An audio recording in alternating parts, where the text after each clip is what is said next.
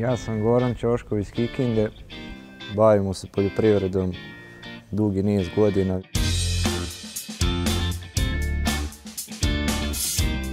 Proizvodnji gajimo u kuruz, sunskret i pšenicu. Na tom smo zasnovali proizvodnju. Sistem proizvodnje je konvencionalni i e, proizvodimo robu koju iznosimo, predajemo.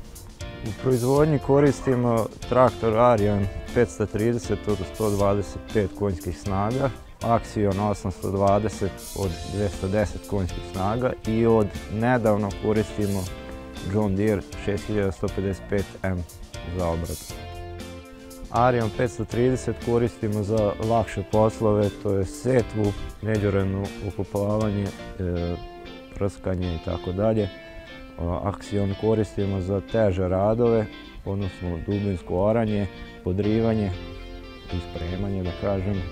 John Deere bi koristio za sve jedno i lakše i teže radove, može da potpomaže i jednom i drugom traktoru, tako da može da radi i površinske radove, setvu i sve ostalo, kao i oranje i podrivanje. Navigaciju smo uzeli zbog lakšeg rada, poboljšava učinak, doprinosi produktivnosti i ranije sam imao, koristio sam navigaciju i vidio da je to prava stvar. U narednom nekom periodu planiramo da pređemo na variabilnu setvu, section control, prskanje variabilno i mislim da ću s ovim traktorom sve moći ostvariti. Traktor ima ISO-BAS vezu, električne izvode koje olakšavaju rad i mogu da rade section control i sve ostale operacije. Hidrolični toplin sam uzeo zbog lakšeg kačenja same mašine i zbog lakšeg štelovanja u samom radu, možda se štelo iz kabine, nagib neke mašine. Isto ima u opremi i električne, ove spoljne štelovanje, spuštanje i dizanje hidrolike i hidroličnog topljenja. Power Bion je za žitnu selicu.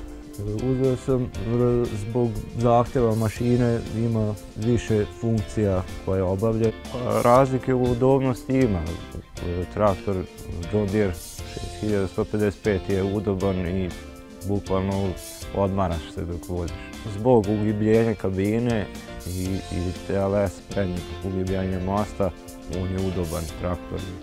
Traktor za rukovanje je jako lak zato što su pristupačne komande i okretan je i, dosta udoban. Kod nas je uglavnom ritska zemlja, teška za obradu, potrebni su veći traktori i teži za, za samu obradu, teže se obrađuje. Pripremu radimo sa drljačama i setospremačima.